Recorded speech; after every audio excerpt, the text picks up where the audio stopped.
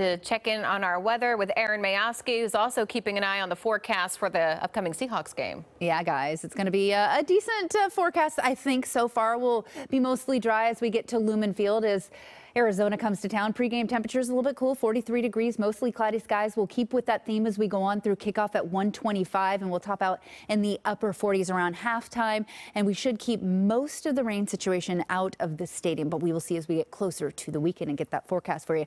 Just a fantastic look right now. This is uh, what the Emerald City is all about when you can see the mountains, the sound, Bainbridge, the downtown. It looks really pretty. Winds are out of the northwest at 7 miles an hour, and we're at 46 degrees is what we're cooling off to as we get going through this night. Folks to the north, south, east, and west of the downtown area doing much of the same. A little cooler in Everett at 41. Hello to you up in Bellingham and Whatcom County. Still struggling in Whatcom and Skagit counties with the flood situation up there. We'll check in on that in just a second. 42 for Friday Harbor, and you jump the Cascades and you get cooler temperatures, especially across Snoqualmie Pass. We're in the 20s uh, there. Okay, so this is a look at the conditions right now as we go through. We're seeing the sky cover there, pushing the cloud cover. We are dry, which is the good news. That helps our situation as we look at our river stages.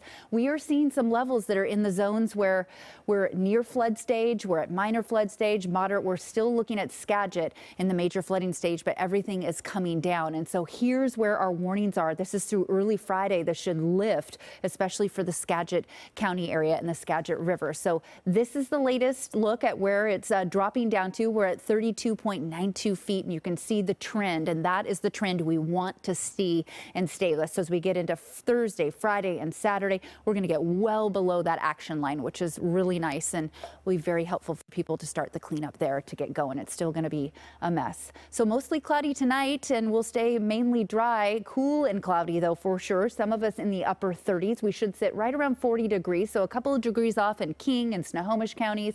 Up towards the north end will be cooler and about 36 degrees for Bellingham out along the coast. Might see a little spits of showers coming in early, but about 37 degrees there. Big picture with our satellite and radar shows us the Pacific and that we do have some opportunity to welcome in some more rain as we get into tomorrow. So we start out dry and then by mid morning, midday, the afternoon, we'll start to see those showers filter in. So here's a look at how we go through uh, tonight and all the way through Thursday morning at 5 a.m. You can start to see the leading edge of this on the northwest Washington coast.